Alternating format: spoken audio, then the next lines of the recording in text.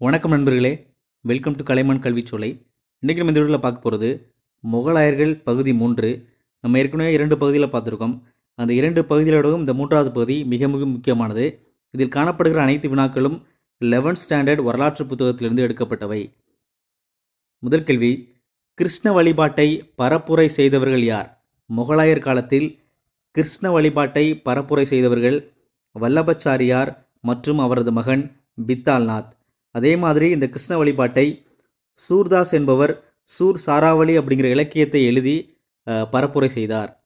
அடுத்த கேள்வி மகாராஷ்டிராவை சேர்ந்த பக்தி இயக்க கவிஞர்கள் யார்? ஏகநாதர் மற்றும் துக்காராம். அடுத்த கேள்வி கர்நாடகத்தைச் சேர்ந்த பக்தி இயக்கமான தசருதா யாரால் நிறுவப்பட்டது? வியாசராயரால் நிறுவப்பட்டது. அடுத்த கேள்வி முழுமையான ஒரு கடவுள் கோட்பாட்டை முன்வைத்த பக்தி இயக்கத்தின் மிக முக்கியமான ஆளுமை டேஸ் கபீர். அடுத்த கேள்வி சீக்கிய மதத்தின் புனித நூல் குரு கிரந்த சாஹிப். அடுத்த கேள்வி சூபிசம் எங்கு உதயமானது? ஈரானில் உதயமானது.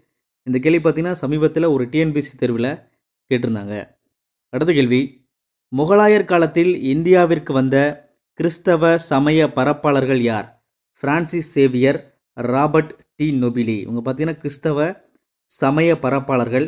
இவங்க பார்த்தீங்கன்னா கத்தோலிக்க அந்த பிரிவை சேர்ந்தவர்கள். அடுத்த கேள்வி புனித விவிலியத்தை தமிழில் மொழிபெயர்த்தவர் யார்? சீகன் பால்க்கு. ஆயிரத்தி எழுநூற்றி பதினாலில் அந்த மொழிபெயர்ப்பை செய்கிறாரு இவர் பார்த்தீங்கன்னா தரங்கம்பாடியில் தமிழ்நாட்டில் உள்ள தரங்கம்பாடியில் அந்த அச்சகத்தை அமைத்து மொழிபெயர்ப்பு பணிகளையும் அச்சு பணிகளையும் மேற்கொள்கிறார். இவர் பார்த்தீங்கன்னா லுத்தரன் அந்த பிரிவை சேர்ந்தவர். இவங்க பார்த்தீங்கன்னா கத்தோலிக்க பிரிவை சேர்ந்தவர்கள். இந்த சீகன் பால்க் பார்த்தீங்கன்னா லுத்தரன் பிரிவை சார்ந்தவர். அடுத்த கேள்வி முகலாயர் காலத்தில் இந்தியாவில் ஐரோப்பிய பல்கலைக்கழகங்களுக்கு நிகரான கல்வி நிறுவனங்கள் இல்லை என கூறியவர் யார்? பெர்னியர் இவர் பார்த்தீங்கன்னா பிரான்ஸ் நாட்டு பயணி. குறிப்பாக முகலாயர் காலத்தில் பார்த்தீங்கன்னா அதாவது இந்த இஸ்லாமிய மத மதத்தை தான் என்ன பண்ணாங்கன்னா கல்வி நிலையங்களை பெருமளவில் போதித்தாங்க. அந்த இஸ்லாமிய மத சட்டங்கள் அது மாதிரி தான் போச்சாங்க. அறிவியல் கணிதம் அது சம்பந்தமான நிறைய கல்வி நிறுவனங்கள் இந்த முகலாயர் காலத்தில் காணப்படவில்லை. அடுத்த கேள்வி. அக்பரின் அவைக்கள புலவரான பெய்சி மொழிபெயர்த்த புகழ்பெற்ற கணித நூல் டேஸ் லீலாவதி. இந்த லீலாவதி எழுதியவர் பார்த்தீங்கன்னா பாஸ்கராச்சாரியார். இவர் எழுதினதை பெய்சி என்ன பண்ணுறாருன்னா அரபு மொழியில் அதாவது பாரசீக மொழியில் மொழிபெயர்க்கிறார். இந்த லீலாவதிங்கிறது ஒரு கணித நூல். அடுத்த கேள்வி. நீர் இறைப்பதற்காக பாரசீக சக்கரம் யார் காலத்தில் அறிமுகம் செய்யப்பட்டது? பாபர் காலத்தில் அறிமுகம் செய்யப்பட்டது. அடுத்த கேள்வி. விசை சக்கரங்கள் பொருத்தப்பட்ட நீர் இறைக்கும் இந்திரம் இயந்திரம் எங்கு காணப்பட்டது? நிறுவப்பட்டது பதேபூர் சிக்ரி. அடுத்த கேள்வி. வெடி உப்பை பயன்படுத்தி நீரை குளிர வைக்கும் முறையை அறிமுகப்படுத்தியவர் மாமன்னர் அக்பர். அடுத்த கேள்வி. கப்பலின் ஒட்டகம் என சொல்லப்படும் தொழில்நுட்பத்தை உலகத்திலேயே கண்டறிந்த முதல் மனிதர் யார்? மாமன்னர் அக்பர். அடுத்த கேள்வி. முகலாயர் காலத்தில் இந்தியா தொழில்நுட்பத்தில் பின்தங்கி காணப்பட்டது என கூறுபவர் யார்? இர்ஃபான் ஹபீப். குறிப்பு பார்த்தீங்கன்னா முகலாயர் காலத்தில் வார்ப்பு இருப்பு இரும்பு பார்த்தீங்கன்னா உற்பத்தி செய்யப்படவில்லை. அதாவது வேளாண்மை தொழிலில் கூட என்ன பண்ணாங்கன்னா இந்த மரத்தாலான அதாவது அந்த கருவிகளை பயன்படுத்தினர் அப்படி சொல்கிறாங்க அதாவது தொழில்நுட்பத்தை பொறுத்தவரை முகலாயர் காலத்தில் இந்தியா ரொம்ப பின்தங்கி காணப்படுது அப்படின்னு சொல்கிறாங்க பார்த்தீங்கன்னா ஃப்ளின்டாக் துப்பாக்கி ரகங்கள் அதாவது இது அதிநவீன துப்பாக்கி ரகம் இது ஐரோப்பியாவில் ஐரோப்பாவில் பயன்படுத்த சமயத்தில் இந்தியாவில் பார்த்தீங்கன்னா மேச்லாக் என்கிற ஒரு பழைய பாணியிலான துப்பாக்கி பயன்படுத்தப்படுது அப்படின்னு சொல்கிறாங்க அதே மாதிரி மிகவும் செலவு பிடிக்கத்தக்க செம்பாலான பீரங்கி பார்த்திங்கன்னா முகலாயர் காலத்தில் அந்த இந்திய படைகளில் காணப்படுது அப்படின்னு சொல்கிறாங்க அடுத்த கேள்வி சூர்வம்ச ஆட்சியாளர்களின் கட்டிடக்கலைக்கு எடுத்துக்காட்டுகள். புராணகிலா இது தில்லியில் அமைந்துள்ளது. சாசாரம் இது பீகாரத்தில் பீகாரில் அமைந்துள்ளது. இந்த சசாரம் பார்த்தீங்கன்னா ஹர்ஷரின் கல்லறை. சூர்வம்ச ஆட்சியாளரின் கட்டிடக்கலை கட்டிடக்கலைக்கு எடுத்துக்காட்டுகள் பார்த்தீங்கன்னா புராணகிலா மற்றும் சாசாரம். சூர்வம்சத்தை நிறுவியவர் ஷெட்ஷா அடுத்த கேள்வி அக்பரின் கல்லறை அமைந்துள்ள இடம் டேஸ். சிக்கந்தாரா ஆக்ராவுக்கு அருகில் சிக்கந்தாரா அப்படிங்கிற இடத்தில் பார்த்தீங்கன்னா அக்பரின் கல்லறை காணப்படுகிறது. இந்த கல்லறையின் சிறப்பு அம்சம் என்ன சொல்கிறாங்கன்னா இந்த கலரை பார்த்தீங்கன்னா பௌத்த அந்த கட்டடக்கலையின் ஒரு கூறு என்ன பண்ணுதுன்னா அந்த கலரில் காணப்படுது அப்படின்னு சொல்கிறாங்க அடுத்த கேள்வி. வெள்ளை நிற பளிங்கு கற்களை கொண்டு முகலாயர் கட்டிய முதல் கட்டிடம் இதிமத் உத் தௌலாவின் கல்லறை. இவர் பார்த்தீங்கன்னா நூர்ஜஹானின் தந்தை அதாவது ஜஹாங்கீரின் மாமனார். அடுத்த கேள்வி. எந்த முகலாயர் மன்னர் காலத்தில் கட்டடக்கலை சிகரத்தை எட்டியது? ஷாஜகான் காலத்தில் கட்டடக்கலை அதன் உச்சத்தை எட்டியது. அடுத்த கேள்வி ஷாஜகான் கட்டிய மசூதிகள் டேஸ் மோதி மசூதி இது ஆக்ரா கோட்டையில் காணப்படுகிறது. ஜும்மா மசூதி பார்த்தீங்கன்னா தில்லியில் அமைந்துள்ளது. அடுத்த கேள்வி ஜும்மா மசூதி மற்றும் செங்கோட்டை எந்த நகரில் கட்டப்பட்டன? ஷாஜகானாபாத்தில் கட்டப்பட்டன. இது பார்த்தீங்கன்னா பழைய தில்லி என்று அழைக்கப்படுகிறது. அடுத்த கேள்வி லாகூரில் பாதுஷாஹி மசூதியை கட்டியவர் யார்? அவுரங்கசீப். அடுத்த கேள்வி பெண்ணின் கல்லறை அமைந்துள்ள இடம். அதாவது பீமக் பாரா.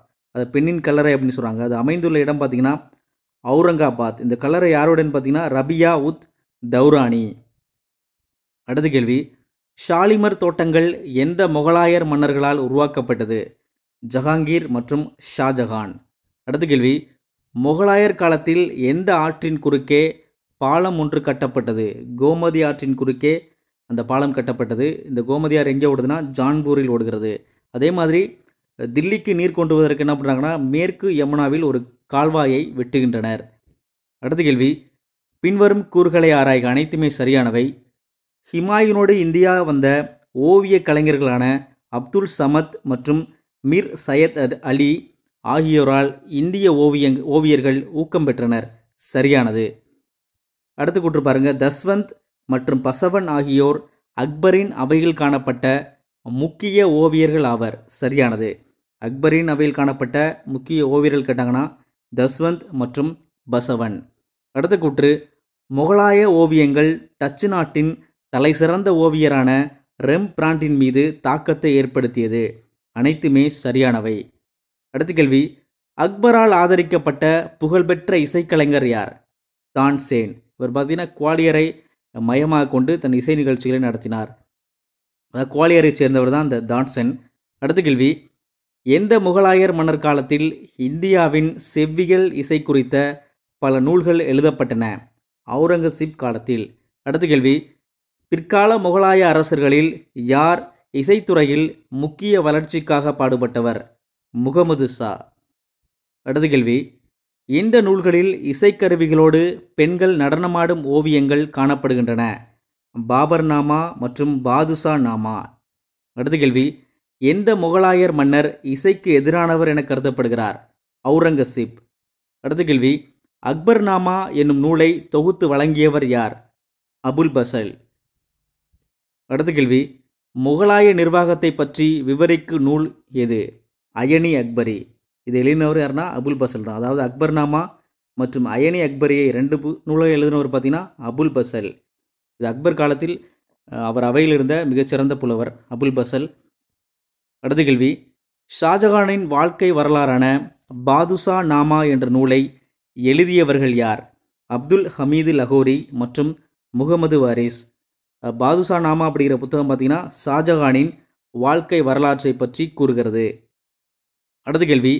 அவுரங்கசீப்பின் முதல் பத்தாண்டுகள் ஆட்சி பற்றி முகமது காசிம் எழுதிய நூல் டேஷ் ஆலம்கீர் நாமா. இது பார்த்திங்கன்னா அவுரங்கசீப் பற்றி சொல்லுது. இந்த ஆலம்கீர் நாமாவை எழுதினவர் பார்த்தீங்கன்னா முகமது காசிம். அடுத்த கேள்வி பல்வேறு மதங்கள் மற்றும் நம்பிக்கைகள் பற்றி விவரிக்கும் நூல் டேஷ் தபிஸ்தான். அடுத்த கேள்வி யாருடைய மேற்பார்வையின் கீழ் மகாபாரதம் பாரசீக மொழியில் மொழிபெயர்க்கப்பட்டது? அபுல் பைசி இவர் பார்த்தீங்கன்னா அக்பர் அவையில் காணப்பட்ட புலவர். அடுத்த கேள்வி உபநிடதங்களை சர்கி அக்பர் அதாவது மாபெரும் ரகசியம் என்ற பெயரில் மொழிபெயர்த்தவர் யார்? தராசிகோ. அடுத்த கேள்வி அபுல் பைசியினால் எழுதப்பட்ட பாரசீக கவிதை தொகுப்புகள் டேஸ். மஸ்னாவி உத்பி நசிரி. அடுத்த கேள்வி ராஜ வழிபதகா என்ற பெயரில் காஷ்மீரின் வரலாற்றை எழுதியவர். கல்கனர் அடுத்த கேள்வி அக்பர் காலத்தில் ராஜ வழிபதகா என்ற நூலை தொகுத்தவர் யார்? பிரக்யன எழுதியவர் பார்த்தீங்கன்னா கல்கனர் அதை தொகுத்தவர் பார்த்தீங்கன்னா பிரக்யன அடுத்த கேள்வி அக்பரின் வானியல் அறிஞரான நீலகண்டர் படைத்த வானியல் ஆய்வு நூல் டேஸ். தஜிகனி லகந்தி. தஜிகனி லகந்தி ஒரு வானியல் ஆய்வு நூல். இது பார்த்திங்கன்னா நீலகண்டர் அப்படிங்கிற அறிஞரால் எழுதப்பட்டது. அடுத்த கேள்வி ஷாஜகானின் அவை புலவரான ஜெகநாத பண்டியர் எழுதிய நூல் எது? ரசகங்காதரா. அடுத்த கேள்வி. இந்தியின் கிளைமொழியான பிரிஜி வடிவத்தில் பாரசீக பக்தி பாடல்களை எழுதியவர் யார்? அப்துல் ரஹீம் கான் இ. கனான். இவர் பார்த்தீங்கன்னா ஹிந்தி மொழியின் கிளைமொழியில் அந்த கிளைமொழியான பிரிஜி அப்படிங்கிற வடிவத்தில் பார்த்தீங்கன்னா பாரசீக பக்தி பாடல்களை எழுதுகிறார். அடுத்த கேள்வி. அவதி மொழியில் பக்தி பாடல்களை எழுதியவர் யார்? துளசிதாசர். இது பார்த்தீங்கன்னா ஹிந்தி மொழியின் வட்டார மொழி இந்த அவதி மொழி. இது எங்கே பேசுகிறாங்கன்னா கிழக்கு உத்தரப்பிரதேசத்தில் மக்களால் பேசப்படுகிற அந்த வட்டார மொழி. அதில் பார்த்தீங்கன்னா பக்தி பாடல்கள் எழுதினர் பார்த்தீங்கன்னா துளசிதாசர். அடுத்த கேள்வி மற்ற மொழிகளில் மீதான சமஸ்கிருதத்தின் மேலாதிக்கத்தை கேள்விக்கு உள்ளாக்கினவர் யார்? ஏக்நாத். அடுத்த கேள்வி மகாபாரதத்தையும் ராமாயணத்தையும் மராத்திய மொழியில் எழுதியவர் யார்? முக்தீஸ்வர். அடுத்த கேள்வி. அஸ்ஸாமிய மொழியில் பக்தி பாடல்களை எழுதி ஒரு புதிய இலக்கிய மரபை உருவாக்கியவர் யார்? சங்கரதேவர். அடுத்த கேள்வி. கிருஷ்ணருக்கும் ராதைக்குமான காதலை சித்தரிக்கும் கவிதைகளை கொண்ட வழிபாட்டு முறை டேஸ் என்று அழைக்கப்படுகிறது. சைதனிய வழிபாட்டு முறை என்று அழைக்கப்படுகிறது. இது வங்காளத்தில் பின்பற்றப்படுகிறது. அடுத்த கேள்வி. சீக்கியர்களின் புனித நூலான குரு கிரகந்தத்தை தொகுத்தவர் யார்? அர்ஜுன் சிங். அடுத்த கேள்வி காசிக்கு வருகை தந்த மாபெரும் சைவ புலவர் யார்? குமரகுருபர். அடுத்த கேள்வி குமரகுருபர் எழுதிய முக்கிய இலக்கியங்கள் டேஸ் மீனாட்சி அம்மை பிள்ளை தமிழ் மற்றும் நீதி நெறி விளக்கம். அடுத்த கேள்வி தமிழின் வளர்ச்சிக்கு முக்கிய பங்காற்றிய கிறிஸ்தவ சமய பரப்பாளர்கள் Robert de. Nobili Constantine Joseph Beschi இவர் பார்த்தீங்கன்னா வீரமா முனிவர் என்று அழைக்கப்படுகிறார். அடுத்த கேள்வி அக்பரின் சமகாலத்தவர்கள். இங்கிலாந்தில் பார்த்தீங்கன்னா எலிசபெத் ராணி பார்த்தீங்கன்னா அக்பரின் சமகாலத்தில் வாழ்ந்த மிக முக்கியமான ஆளுமை. அதே மாதிரி ஷேக்ஸ்பியர் இவர் மிகப்பெரிய டிராமாட்டிஸ்ட் அதாவது நாடகங்களை எழுத வல்லவர். இவரும் பார்த்தீங்கன்னா அக்பரின் காலத்தில் வாழ்ந்த ஒரு மிகப்பெரிய ஆளுமை. நான்காம் ஹென்றி பார்த்தீங்கன்னா பிரான்ஸ் நாட்டைச் சேர்ந்தவர். மகா அப்பாஸ் அப்பாஸ் பார்த்தீங்கன்னா பாரசீக நாட்டைச் சேர்ந்தவர். அடுத்த கேள்வி பாதுஷா நாமா என்பது யாரின் வாழ்க்கை வரலாறாகும்? ஷாஜஹானின் வாழ்க்கை வரலாறாகும். அடுத்த கேள்வி ராஜபுத்திர அரசர்களுக்கு எதிராக அவுரங்கசீப் தனது எந்த மகனை அனுப்பினார்? இளவரசர் அக்பரை அனுப்புகிறார். அதாவது முகலாயர்கள் பார்த்தீங்கன்னா முகலாயரில் ரெண்டு அக்பர் காணப்படுறாங்க. ஒருத்தர் பார்த்திங்கன்னா மாமன்னர் அக்பர் அவர் ஹிமாயின் மகன். அதே மாதிரி அவுரங்கசீப்பின் மகன் பார்த்திங்கன்னா அக்பர் என்று அழைக்கப்படுகிறார். அவுரங்கசீப் பார்த்தீங்கன்னா ராஜபுத்திரர்கள் பார்த்தீங்கன்னா அவுரங்கசீப்புக்கு எதிராக என்ன பண்ணால் கிளர்ச்சி செய்கிறாங்க அவர் அடக்க இளவரசர் அக்பர் என்ன பண்ணுறாங்கன்னா அவுரங்கசீப் அனுப்புகிறாரு ஆனால் பின்னாட்களில் அவரோட சேர்ந்து என்ன பண்ணார்னா அக்பர் அவுரங்கசீப்பை எதிர்க்கிறார். அடுத்த கேள்வி. அவுரங்கசீப்பை எதிர்க்க அக்பர் யாருடைய உதவியை நாடினார்? சிவாஜி மகன் சம்பாஜி. அடுத்த கேள்வி. பிற மொழி நூல்களை மொழியாக்கம் செய்ய மொழியாக்கத் துறையை அமைத்தவர் யார்? மாமன்னர் அக்பர். அடுத்த கேள்வி. ஷெர்ஷாவிற்கு பிறகு அரியணை ஏறியவர் யார்? அவரது மகன் இரண்டாம் இஸ்லாம் ஷா. அதாவது ஷெர்ஷாவுக்கு பிறகு அந்த சூர்வம்ச ஆட்சி பார்த்திங்கன்னா அதாவது பலவீனம் அடைந்தது. இரண்டாம் இஸ்லாம் ஷா காலத்தில் ஹிமாயின் என்ன பண்ணுறாருன்னா மறுபடியும் வந்து அந்த சூ சூரியக்க அந்த அவருடைய ஆட்சி பகுதியில் என்ன பண்ணுறாருன்னா மறுபடியும் கைப்பற்றி முகலாய அரசை மறுபடியும் நிறுவுறாரு. அடுத்த கேள்வி காலவரிசைப்படுத்துக.